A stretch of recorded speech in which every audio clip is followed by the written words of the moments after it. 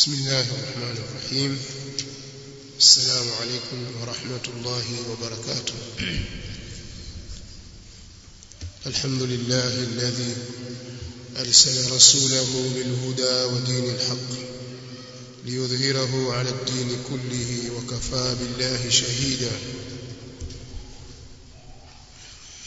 وأشهد أن لا إله إلا الله وحده لا شريك له إقرارا به وتوحيدا.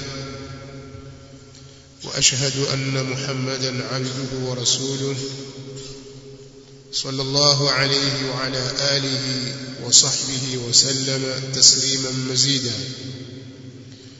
اللهم رب جبرائيل وميكائيل وإسرافيل فاطر السماوات والأرض عالم الغيب والشهادة أنت تحكم بين عبادك فيما كانوا فيه يختلفون.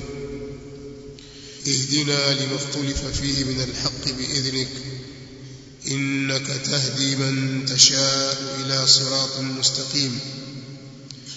اللهم أعنا ولا تعن علينا وانصرنا ولا تنصر علينا وامكر لنا ولا تمكر علينا واهدنا ويسر الهدى لنا. وانصرنا على من بغى علينا. اللهم اجعلنا لك شاكرين لك ذاكرين لك راهبين طائعين مخبتين. ربنا تقبل توبتنا واغسل حوبتنا وأجب دعوتنا وثبت حجتنا واهد قلوبنا وسدد ألسنتنا واسلل سخيمة قلوبنا.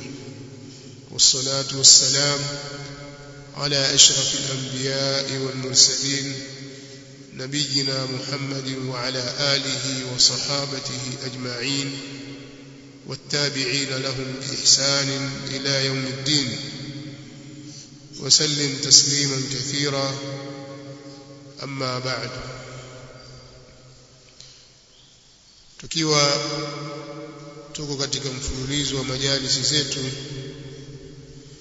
leo tuko katika majlisi ya kumi na moja ambayo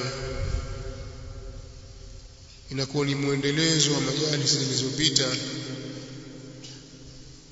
juu ya maudhui ya bid'a na ubaya wake uzushi katika dini. Kwa mujibu wa mafunzo ya Uislamu na maelekezo ya mtume wetu Muhammad sallallahu alayhi wa alihi wasallam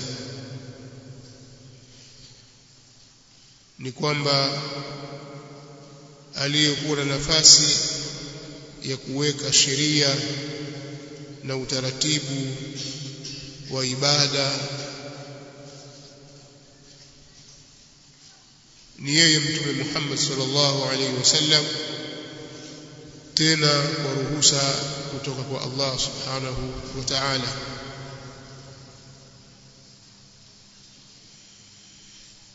Allah subhanahu wa ta'ala amemchagua yeye ili awafikishie watu risala yake tukufu na sheria yake Allah subhanahu wa ta'ala ambayo ndiyo sheria ya mwisho. Hakuna mtume mwingine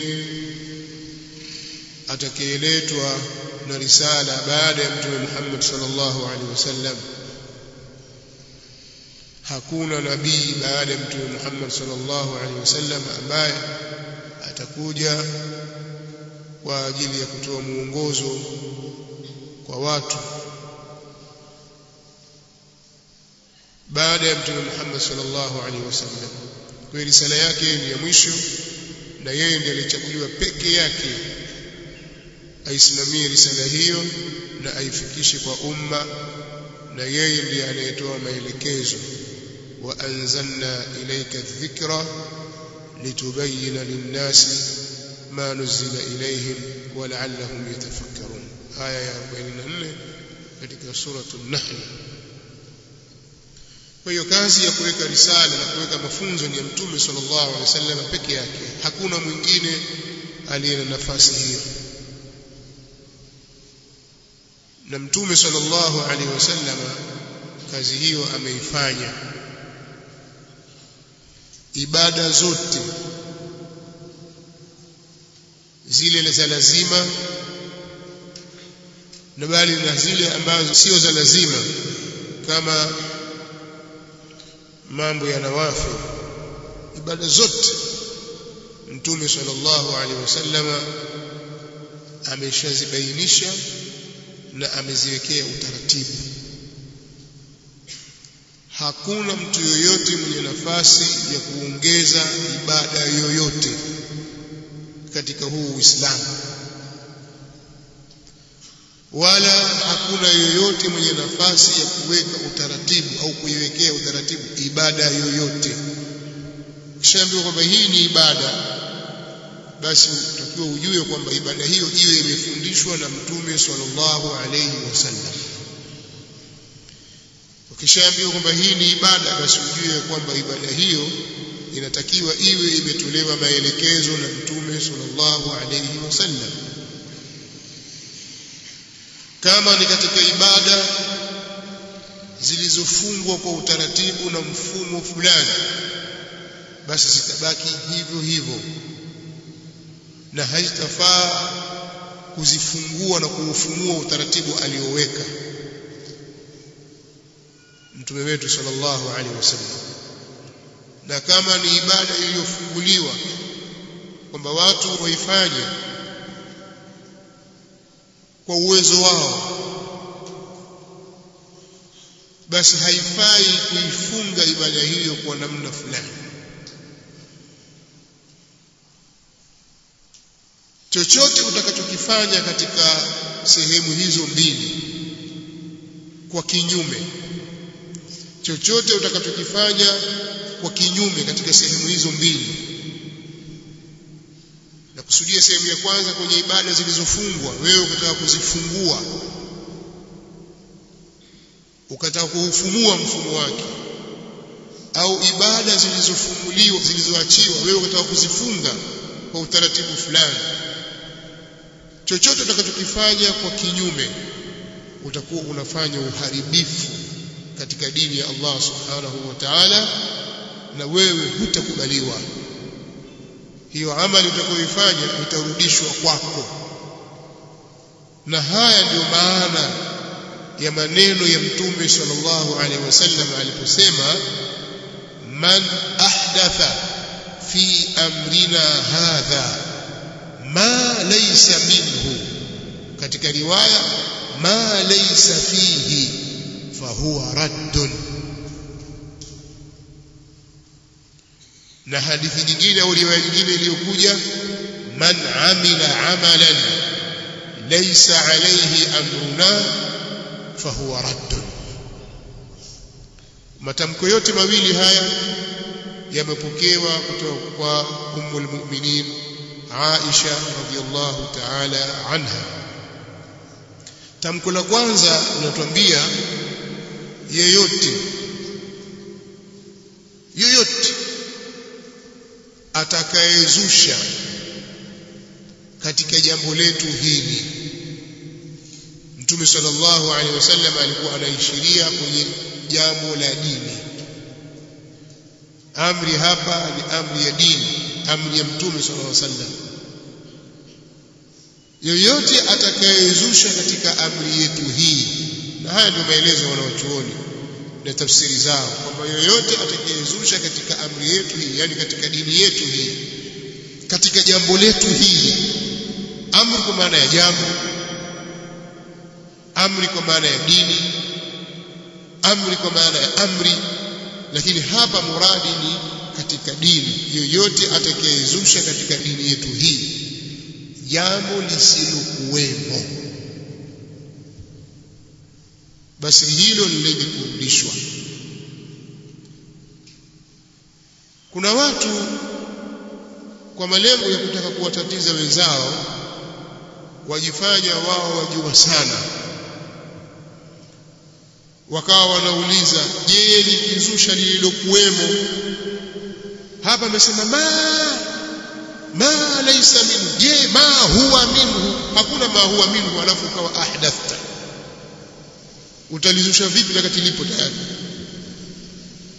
Je nikizusha ambalo limo utakuwa hujalizusha wewe kwa sababu limo? Haiwezekani ufanye jambo ambalo limo alafu uambiwe umelizusha. Haiwezekani. Utakuwa wewe umefuata. Kwa hiyo kama hizi lugha kama hizi zipo katika Qur'ani na katika Sunna huu unaitwa alwasfu alkashif wasfu alkashif alwasfu alkashif au sifatu kashifatun hii inakuwa la mafhuma laha kama ile yahkumu biha an-nabiyuna alladhina aslamu lilladhina hadu biha an-nabiyuna alladhina aslamu lilladhina hadu watahukumu kwa hiyo Taurati wale wale manabii ambao wamesilimu kwa hukumu waliokuwa Mayahudi. Sasa pale wanasema je kama kuna manabii ambao hawakusilimu wataka kuleta kinyume? Hamna kinyume pale kwa sababu hili ni sifatu kashifa na sifatu kashifa la mafhuma laha. Inna anzalna at-taurata fiha hudan wa nur يحكم بها النبيون الذين أسلموا للذين هادوا والربانيون والأحبار بما استحفظوا من كتاب الله وكانوا عليه شهداء. إنا أنزلنا التوراة فيها هدى ونور. حقيقة سيسي تميترمش التوراة كون أن ياكه التوراة موجوز ونكون نور. يحكم بها ونهكوم وهي التوراة النبيون الذين أسلموا. يعني وصفوا عنده هو manabii ambao wasifu wao wao ni kuwa wamenyenyekea kwa Allah subhanahu wa ta'ala. Si kwamba ni kinyume chake. Sasa yule mwenye kulizusha jambo ambalo hilo jambo ambalo halimu hilo jambo jambo lenyewe sifa yake ni kuwa halimu. Katika dini yetu. Huo ni wasfu umekuja kufafanua na kuweka wazi. Hauna kinyume na mfano wa maandiko kama hayo na nususi kama hizo ni nyingi katika Qur'an. Kwa hiyo ukimsikia mtu, je, ma huwa minhu, unajua hajaelewa. Hajaelewa kabisa, yuko mbali kabisa. Ataka kuwababaisha watu.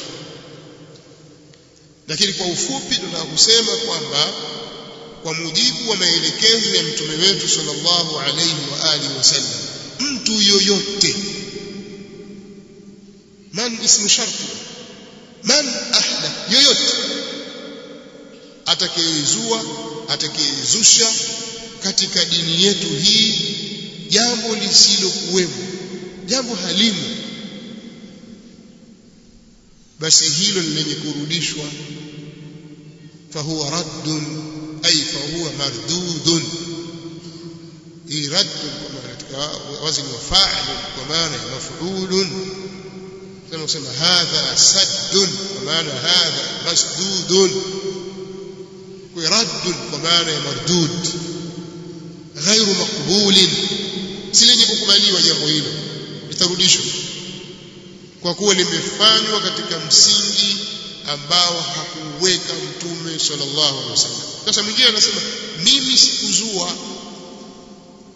Mimi nafanya ambayo yashafanywa hawa wamewekewa lafdhi lao. Man amila amalan yoyote atakayetenda amali yoyote laisa alayhi amruna fahuwa radd. Ambayo haliko juu yake jambo letu hilo ni lenye kurudishwa. Hata kubaliwa pia. Kwa hiyo aliyezusha aliyeanzisha jambo hilo na kadhalika aliye aliyetenda jambo lililozushwa wote ni wazushi na amali yao haitakubaliwa. Kwa hiyo milango imefungwa. Milango imefungwa. Kwa yoyote anayetaka kutia mkono wake katika dini aweke baadhi ya vitu kwenye ibada ataambiwa mlango umefungwa. Jambo hilo haliruhusiwi. Lau ingelikuwa kheri angeifahamisha mtume sallallahu alaihi wasallam lau ingelikuwa kheri angeliitenda mtume sallallahu alaihi wasallam lau ingelikuwa kheri ungeitenda masahaba ataambiwa hivyo lau kana khairan la sabaquna ilayhi ungetutangulia sisi kwa hiyo mlango umefungwa sasa wengine hutumia hadithi ya man sanna fil islam sunnatan hasana hii tutakuja kuitolea maelezo mara nyingine lakini kwa ule ufafanuzi ambao sisi tumeutoa kuhusu nini bid'a nini sunna na ni nini ibada basi kama kuna kubabaika utakuwa ni kudogo. Ni mtu kuwekwa sawa tu jambo fulani. Kwa wale waliofuatilia maelezo kuhusu nukta hizi tatu tulizozitaja. Kwa insha Allah tutajitahidi na hii mitego mingine wanayotega tuitegue. Katika wakati wake biidhnillahi karim kwa maelezo ya wanazuoni na hali halisi ilivyo na mafuhumu za hadithi na sharhi zake wanaotuona wanavyoeleza kunaelezwa nini? Je hiyo mansanna ndio yaruhusu kuanzisha ibada? Mansanna mtu hadithi ya mansanna je ndio inaruhusu mtu aanzishe ibada mpya katafuta ibada katafuta jambo kafikiri lakini hili jambo hili zuri hili mkiwekea Uislamu hili. Alafu wakianza kuabudu jambo hili zuri akaamua azushe ibada yake fulani. Au azushe mtindo fulani wa ibada.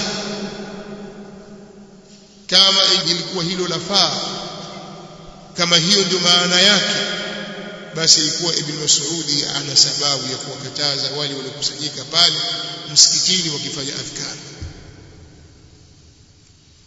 kama ndio hivyo ibn Umar asingewakataza asingemkataza mtu ya tafwibu kama ndio hivyo ibn Musayyib asingemkataza yule aliyekuwa akikithirisha kuswali kabla ya salati alfajr rakaa nyingi. Kama ni hivyo basi mfano ni mingi kama ni hivyo wakina alimamu Nawawi na kina Al-Izz bin Abdussalam na wengineo wasingeikataa salatu raghaib. Sema sanna na nyinyi mwafasiri man sanna mwenye kuweka mwenye kuanzisha akaanzisha kwenye ibada.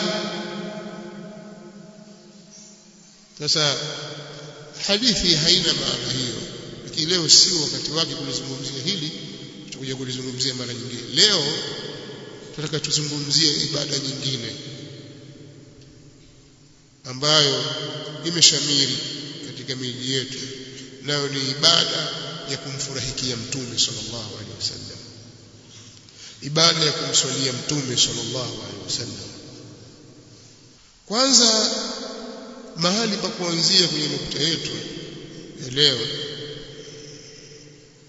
tunahitaji kujua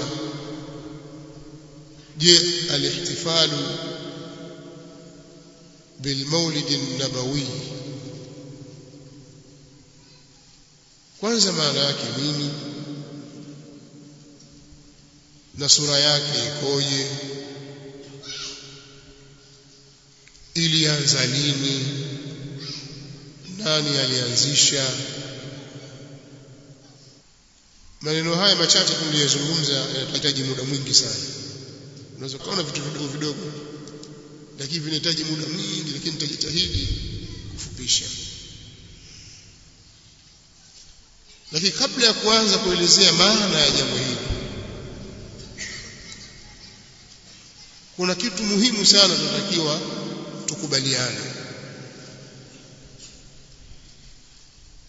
Hawa jamaa ndugu zetu hawa jamaa zetu Allah atuongoze sisi na wao waone waongozi Allah waone kwamba kile wanachosimamia si cha sawa, wape hidayah katika nafsi zao, na wale walioliingia jambo hili wakidhani ni kheri, Allah wasamehe makosa yao, kwa sababu si rahisi ukiwa umeishi katika jamii kama hii mujtamaa kama huu mujtamaa wetu ulivyo na namna jambo hili lilivyokuwa limechukuliwa alafu ukwepe yani usalimike usiingie katika mtego huu. Si rahisi. Hasa hasa itakapokuwa elimu kwako ni kitu kidogo. Au elimu wewe umeichukua kutoka kwao tu wasoma kwao tu wao.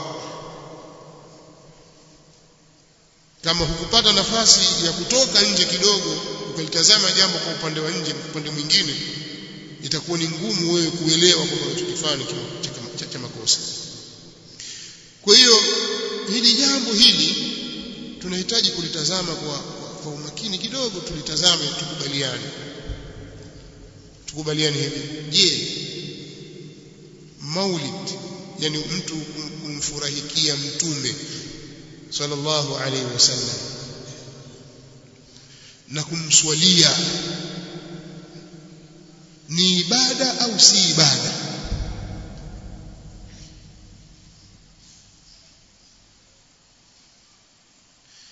Hii nukta muhimu sana. Mara nyingi watu wanapozungumza wanairuka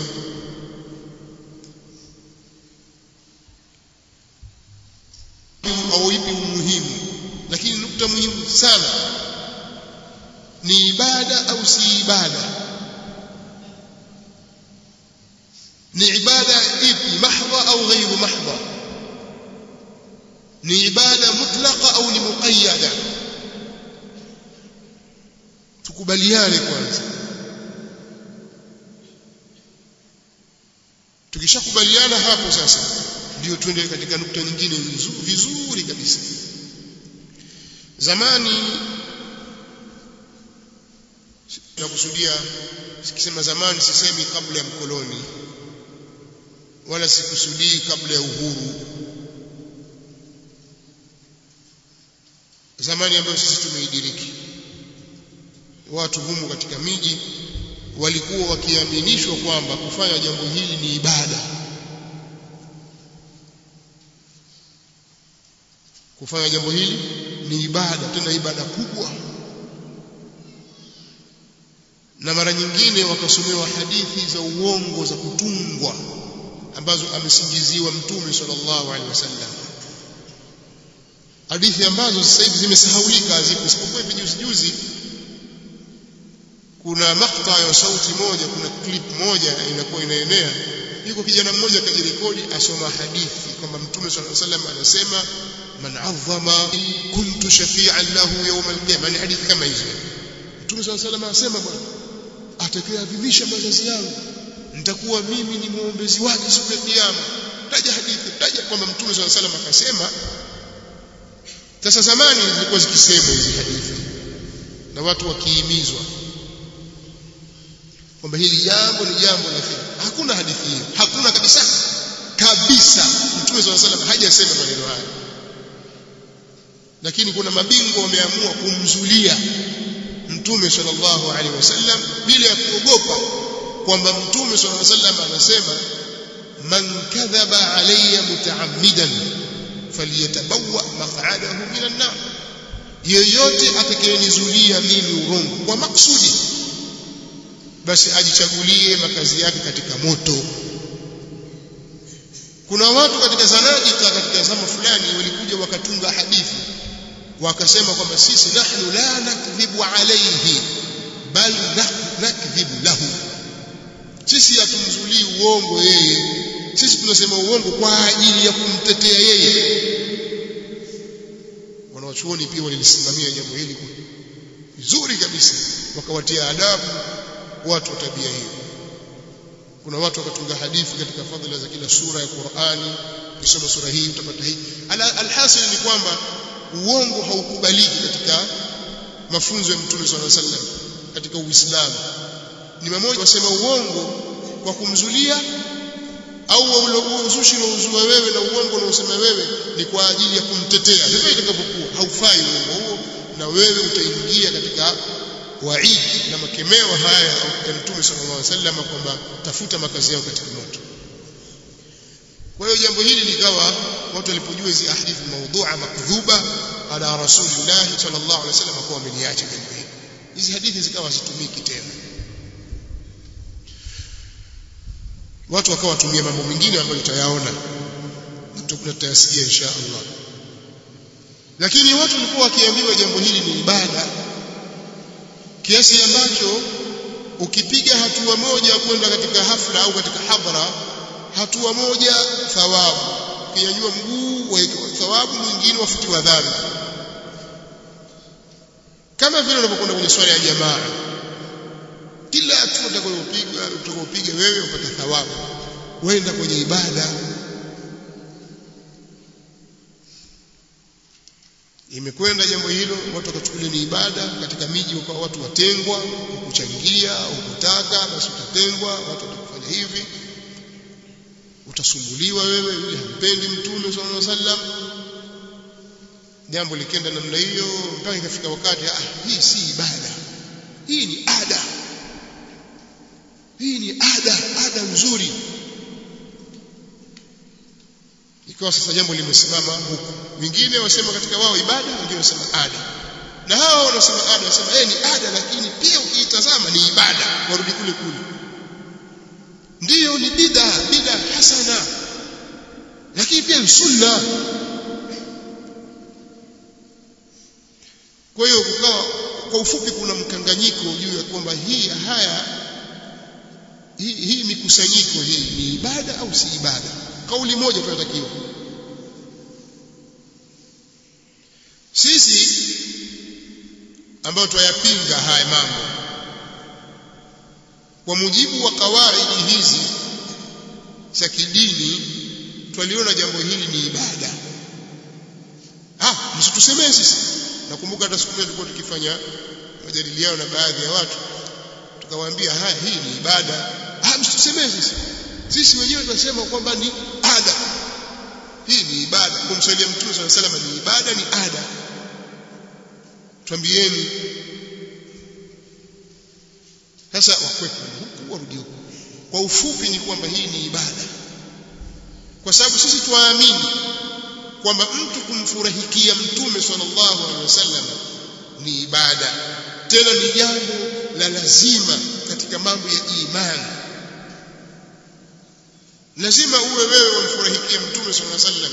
Una furaha na mtume sallallahu alaihi wasallam. Kwa maana kwamba usiwe na chuki na mtume sallallahu alaihi wasallam. Usimchukie yeye umfurahikie yeye. Huo ndio uislamu. Uifurahikie qurani. Uifurahikie sunna uwe na furaha na masahaba. Uwe na furaha na sheria ya dini ya Allah subhanahu wa ta'ala. Huo ndio uislamu. Na yoyote ambaye hampendi wala hamfurahikii mtume sallallahu alaihi wasallam huyo si muislamu. Si muislamu. Sasa ikiwa kufurahika na kupenda kumpenda mtume sallallahu alaihi wa alihi wasallam ambapo mtume sallallahu alaihi wasallam anasema la yu'minu ahadukum hatta akuna ahabba ilayhi min nafsihi wa waladihi والناس أجمعين hata kuwa mu'min mmoja wenu sio mkamilifu wa imani hata kuwa mu'min mpaka niwe mimi napendeza zaidi kwake yeye kuliko nafsi yake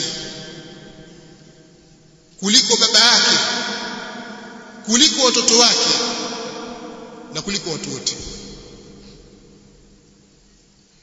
Kwa hiyo ni jambo la kiibada. Pia tuamini kwamba kumswalia mtume sallallahu alayhi wa alihi wasallam ni katika ibada bora kabisa zilizohimizwa na sheria ya Uislamu bali Qur'an bali as-sunna ndani ya sunna na Qur'an.